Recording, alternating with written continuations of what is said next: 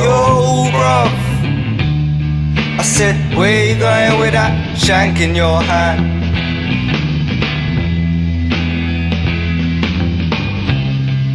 Yo, bruv. I said, where you going with that shank in your hand?